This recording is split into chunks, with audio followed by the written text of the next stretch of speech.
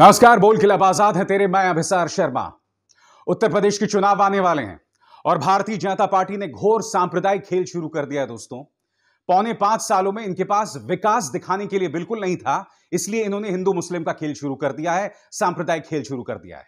जिस तरफ़ देखो दोस्तों, चाहे इनकी राजनेता हो, खुद मुख्यमंत्री हो, या फिर इनका गोदी मीडिया जिस तरह से प्रचार प्रसार कर रहा है इनके लिए और जिस तरह के जहरीले कार्यक्रम कर रहा है।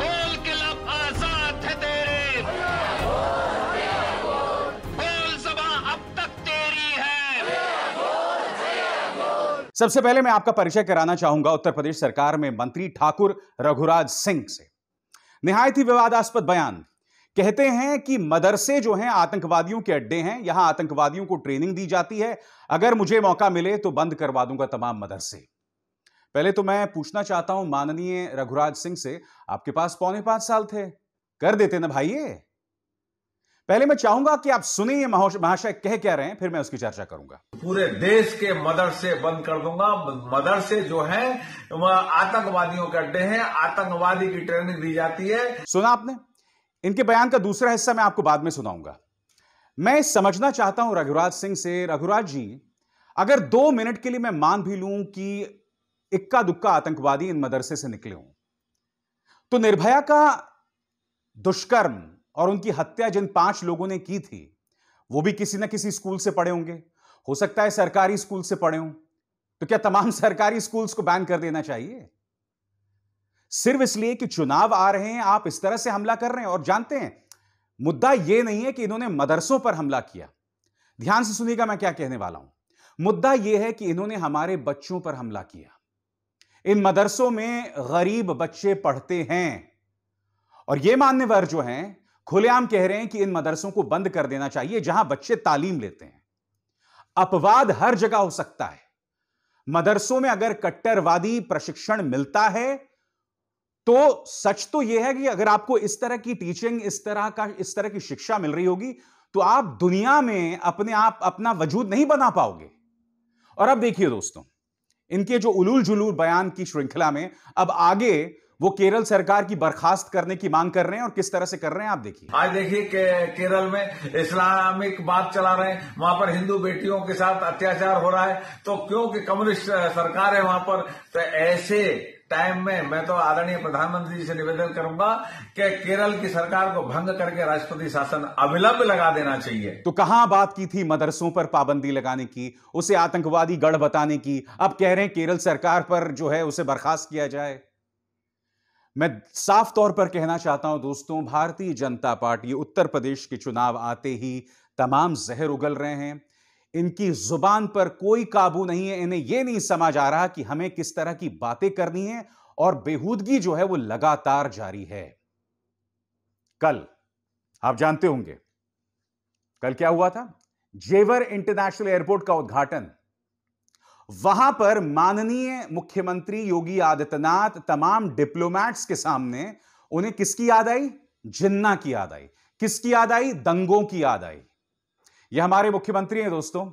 गर्व होता है ऐसे मुख्यमंत्री का कि राष्ट्रीय शान की पहचान जेवर इंटरनेशनल एयरपोर्ट के शिलान्यास के मौके पर इन्हें याद आ रही है जिन्ना की और दंगों की। सुनिए क्या कहा था। देश गन्ने की मिठास को एक नई उड़ान देगा? या जिन्ना के अनुयायियों से फिर दंगा करवाने की शरारत करवाएगा? और यही तय करने के लिए आज आप सबका आह्वान करने के लिए मैं स्वयं आपके बीच यहाँ पर उपस्थित हुआ हूँ।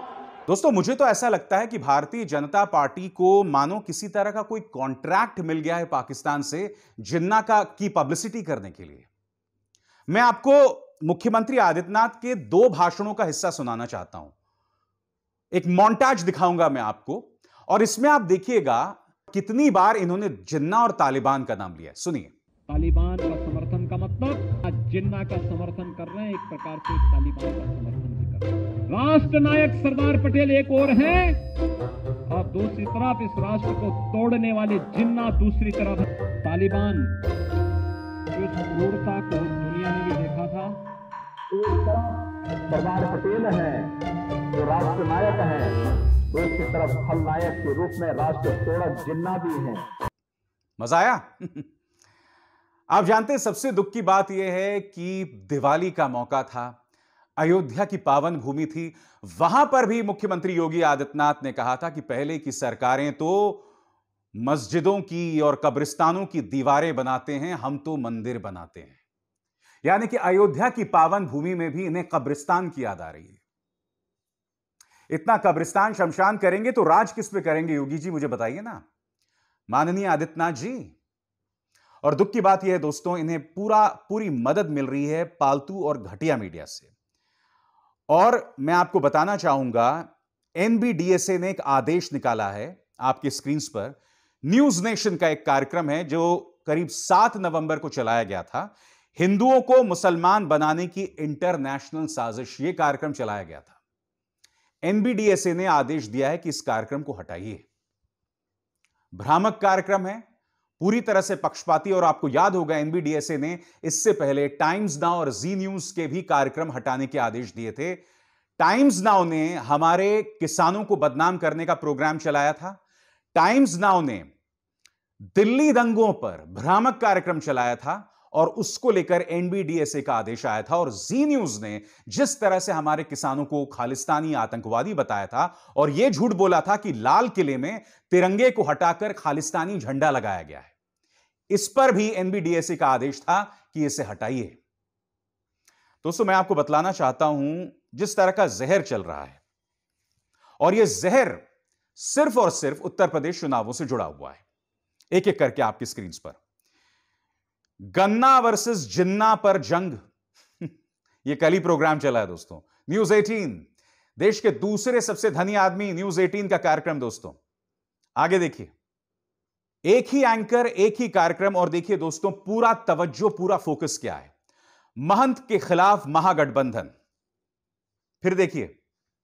Yogi versus all. महंत versus Akhilesh versus Owaisi versus Jayant और ये देखिए। गठबंधन या लठबंधन? यानी कि दूसरे गठबंधन करें तो वो लठबंधन कहलाए। और अगर खुद गठबंधन करें तो वो गठबंधन कहलाए। और देखिए दोस्तों, और भी, जिन्नावादी वर्सेस राष्ट्रवादी, योगी वर्सेस अब्बाजान प्लस चचाजान प्लस भाईजान। अगर आपने देखा होगा, एक ही कार्यक्रम, एक ही एंकर, एक ही चैनल के अंदर किस तरह से जहर उगला जा रहा है? किस तरह से यह पूरी ज़मीन तैयार की जा रही है भारतीय जनता पार्टी के लिए ताकि वो 2022 में जीत हासिल कर सके?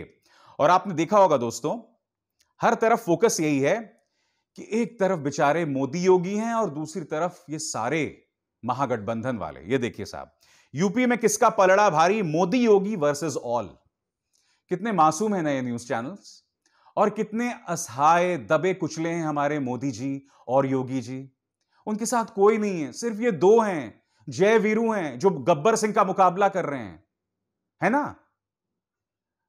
इन न्यूज़ चैनल्स को पता होना चाहिए कि जब आप मोदी योगी कहते हैं तो उनके साथ कौन होता है। ध्यान से सुनिएगा। मोदी योगी के साथ प्रधानमंत्री नरेंद्र मोदी की पूरी सरकार है। मोदी योगी के साथ प्रधानमंत्री मोदी की सरकार की ये चार संस्थाएँ हैं एनआईए सीबीआई इनकम टैक्स और एनफोर्समेंट डायरेक्टरेट जो कि विपक्ष को टारगेट करती हैं। मोदी योगी की जब आप बात करते हैं तो मोदी सरकार के तमाम मंत्री हैं, जिनमें अमित शाह भी हैं, धर्मेंद्र प्रधान भी हैं, तमाम दिग्गज जो हैं, वो भरे पड़े हैं। राजनाथ सिंह भी हैं। आपको पता होगा, राजनाथ सिंह को तो बाकायदा एक ज़िले का, एक एक खेमे का इंचार्ज बनाया गया उत्तर प्रदेश में। पश्चिमी उत्तर प्रदेश की ज़िम्मेदारी दी गई अमित शाह को। यानी कि इनके मंत्री वो काम कर रहे हैं जो कि पार्टी के नेताओं को करना चाहिए था। अब वो भूल जाइए। अब मैं आपको बताता हूँ योगी जी के साथ और कौन कौन है। योगी जी के साथ उनका पूरा प्रचार तंत्र है। करोड़ों रुपए झोंके हैं इन्होंने न्यूज़ चैनल्स में। योगी जी के साथ नोएडा के तमाम न्यूज़ चैनल्स हैं। क्या ये लोग ये बात भूल जाते हैं? मैं यही तो समझना चाहता हूँ, दोस्तों, खुला खेल फरुखाबादी चल रहा है। खुलेआम जहर उगला जा रहा है और इस पर कोई अंकुश नहीं है। यही वजह है दोस्तों, मुझे इस मीडिया से कोई उम्मीद नहीं है, क्योंकि ये लोग एक पार्टी को जिताने के लिए समाज की नसों में जो जहर डाल रहे हैं ना, उसकी उसकी कोई हद नहीं है। अब मैं आपको एक और चीज़ बताता हूँ दोस्तों। देश का सबसे ज़्यादा देखे जाने वाला न्यूज़ चैनल।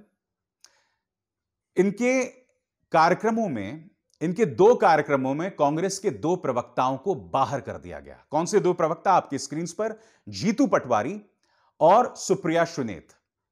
दोनों को बाहर कर दिया गया। क्यों? क्योंकि ये जो सवाल पूछ रहे थे भारतीय जनता पार्टी के प्रवक्ताओं से, ये जो सवाल पलटकर इनके एंकर्स से पूछ रहे थे, इनके पास उसके जवाब देने की हिम्मत नहीं थी। तो इन्होंने क्या किया? दोनों ही प्रवक्ताओं को बाहर कर दिया। जीतू पटवारी क्या कह रहे हैं आपके सामने?